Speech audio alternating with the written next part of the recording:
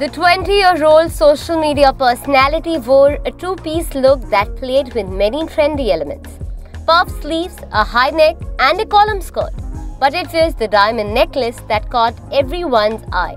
Popular YouTuber Emma Chamberlain is facing a lot of criticism for the diamond necklace she wore to this year's Met Gala.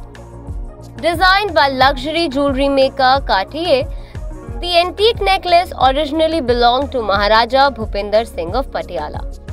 It features a De Beers diamond which was once the seventh largest in the world. The theme of this year's Met Gala was In America, an anthology of fashion. The dress code was gilded glamour. It referred to the two decade period between 1870 and 1890, where there is unprecedented prosperity, cultural change, and industrialization.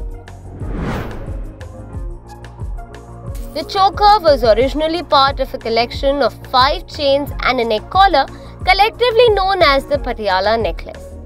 It was created for the Maharaja of Patiala, Bhupinder Singh, in 1928 and comprised around 2,900 diamonds, including the De Beers. After the British rule in 1948, the necklace allegedly went missing from the royal treasury of Patiala. For 32 years, there was no trace of this necklace. Then in 1982, at a Sotheby's auction in Geneva, the De Beers diamond reappeared and was sold. In 1998, Cartier recovered a part of the necklace at a second hand jewelry store in London. Then it restored it by replacing the missing diamonds and stones with replicas. The South Asian community, particularly Indian Americans, felt that the necklace being misplaced and later being found makes the necklace one of a kind and there's a need to treasure it.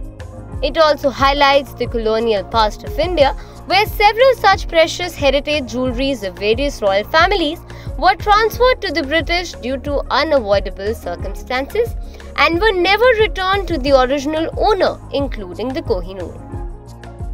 Many pointed out that there is a need for awareness of Indian culture and heritage.